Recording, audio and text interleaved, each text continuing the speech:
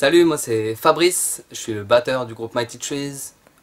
Euh, c'est un groupe de reggae qu'on a créé en 2014.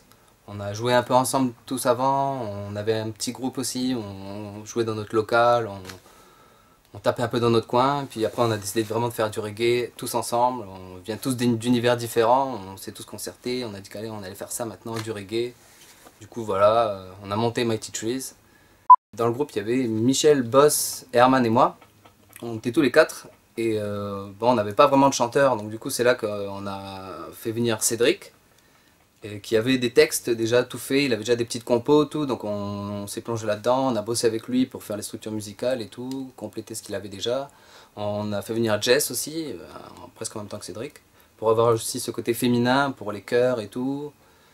On s'est inscrit au concours euh, One Way parce qu'on a vu qu'on pouvait gagner un album, du coup, on s'est inscrit, on pensait pas forcément gagner, on y allait pour le challenge.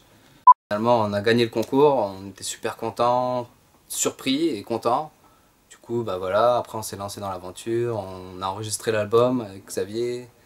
Ça s'est super bien passé, très excitant, parce que c'était notre première expérience en studio. Du coup, euh, c'est pas comme on répète, c'est vachement plus carré, c'est très structuré et tout. T'as pas le droit à l'erreur, chaque petit détail il est directement capté.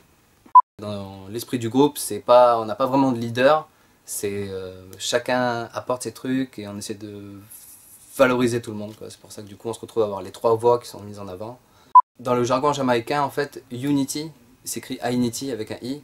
Du coup, on a utilisé le I qui se dit en anglais I du coup, on a, on mis H-I-G-H pour faire le mot monter, s'élever, quoi, tu vois. Et l'unité, on monte tous ensemble. L'album est sorti, on est tous super fiers.